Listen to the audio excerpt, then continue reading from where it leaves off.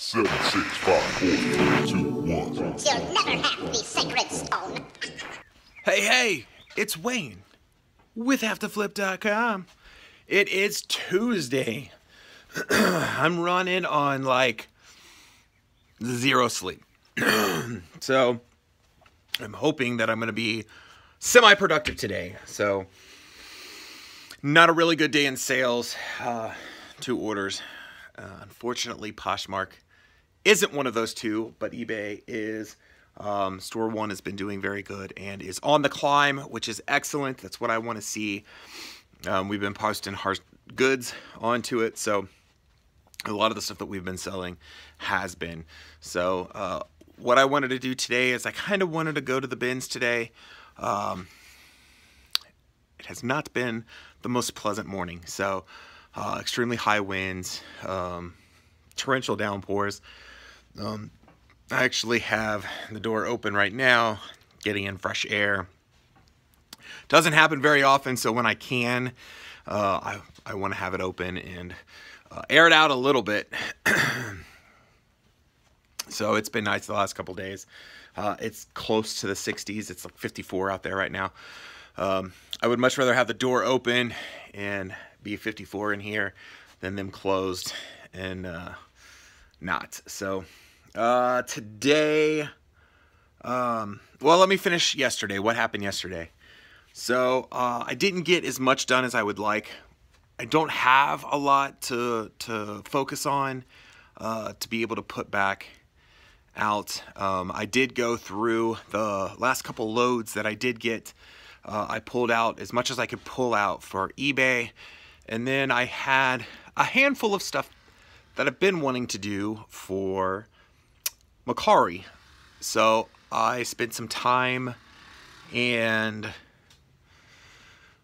put stuff out on Mercari. Go figure. So uh, we listed about $100 on Mercari. Um, I think it was about 10 items. And um, we're going to see how that goes.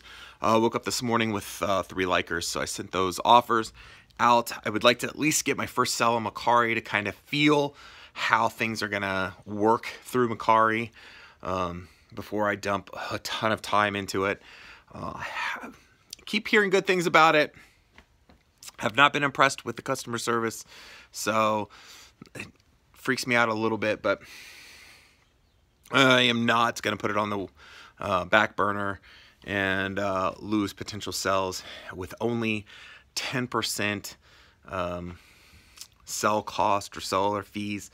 Uh, you can put out those lower margin items. Uh, and a lot of the items that I've been trying to get have been uh, below that six ounce point.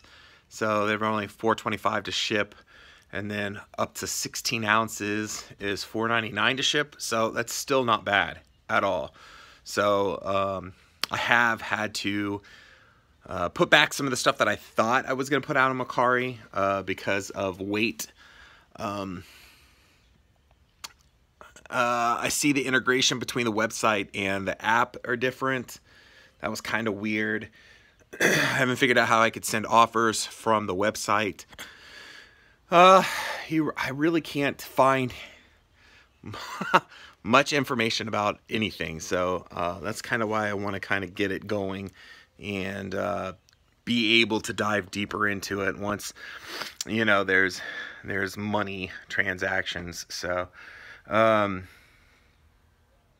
it's exciting. It's a new platform.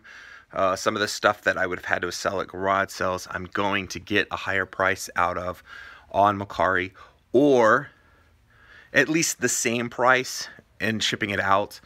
Um, so if I can get the same amount out of an item and be able to get it now, then wait another month and a half uh, before our yard sale, it's it might be worth listing. So uh, definitely to me, it's a lot faster to uh, list on Mercari than eBay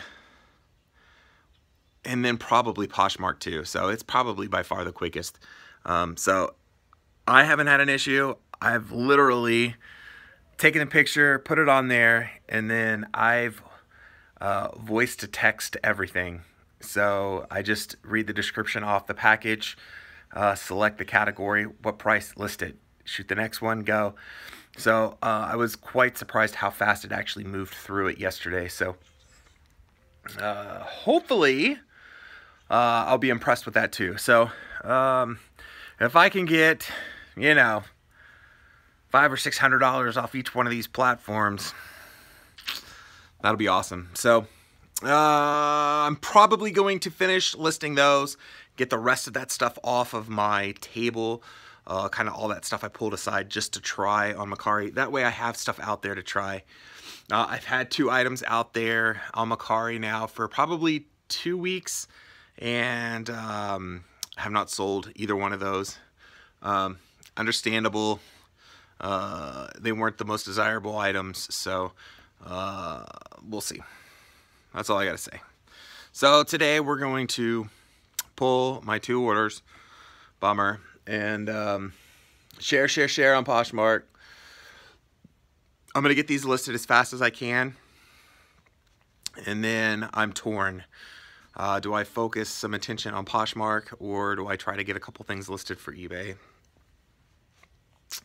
I have a few that I have found that I sold similar, so I think I'm going to do those really quick.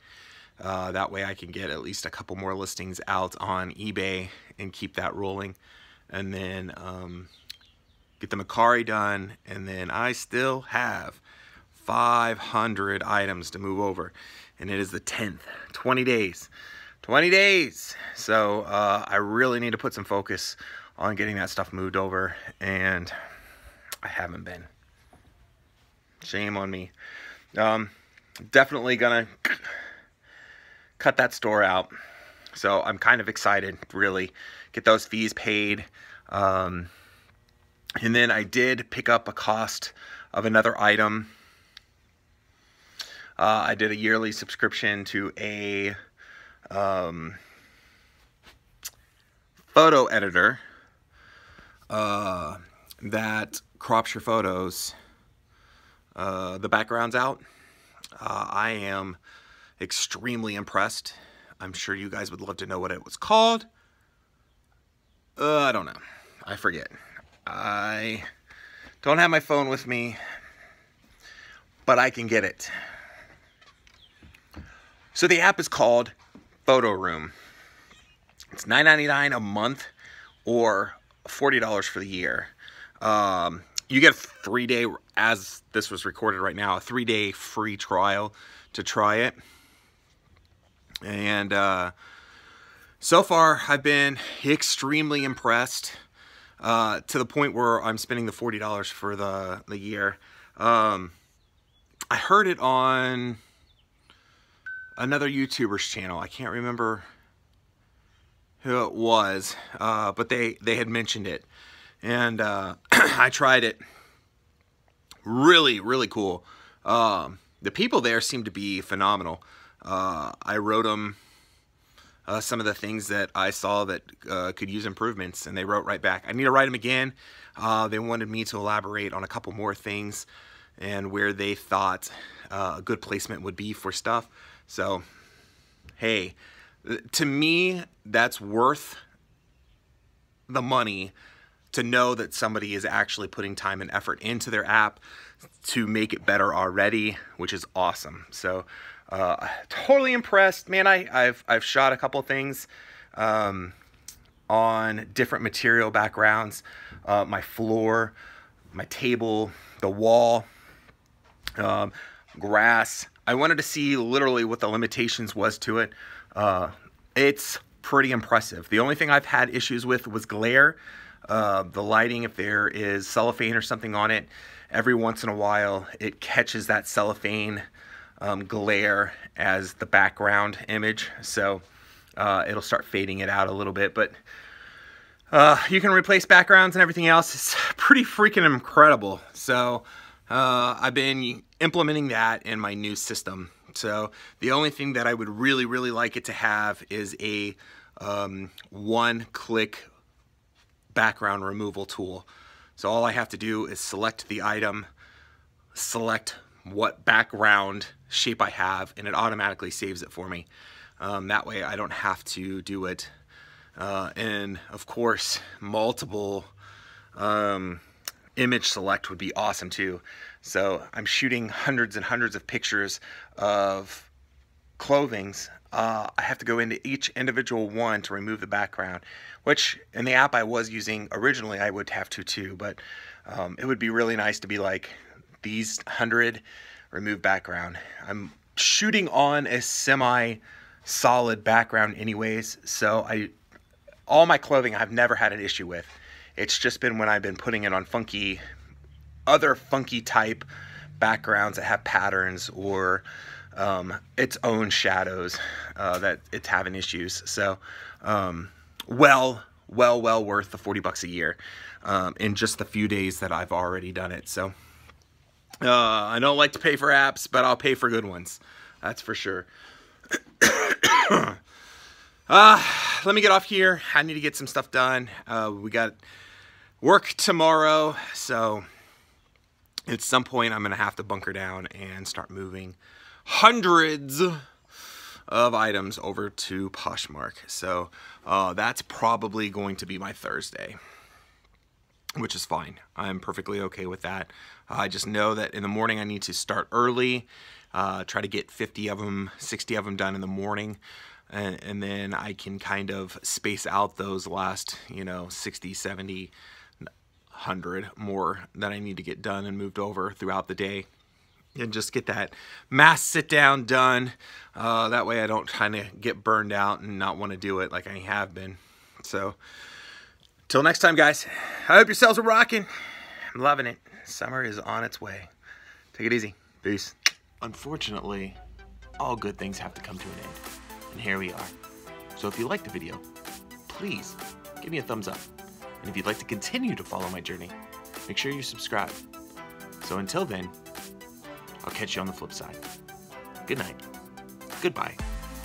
See you later. Toodaloo.